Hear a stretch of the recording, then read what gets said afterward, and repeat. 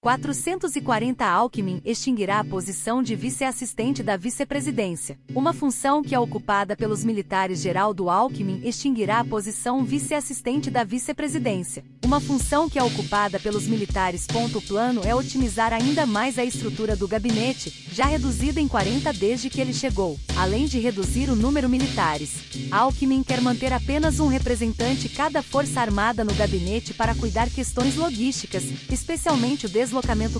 Na prática, no entanto, o vice-presidente ainda tem um assistente.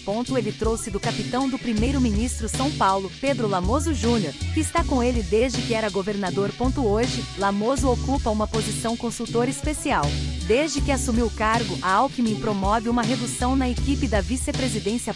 Enquanto ele acumula a função com o MDIC, algumas posições acabam sobrepostas.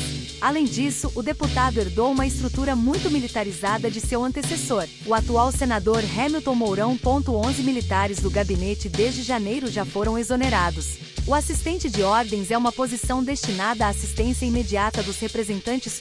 É ocupado pelo pessoal militar, geralmente responsável por tarefas como atender telefones, transmitir mensagens e organizar agendas. Na administração Jair Bolsonaro, por exemplo, o coronel Mauro Cid recebeu críticas por restringir o acesso ao presidente. Hoje, é objeto de algumas investigações, entre elas a adulteração do cartão vacina do ex-presidente. Por outro lado, devido à proximidade com os agentes, função pode ajudar a alavancar carreira. O atual comandante do Exército, Thomas Paiva, foi o ex-presidente do presidente Fernando Henrique Cardoso.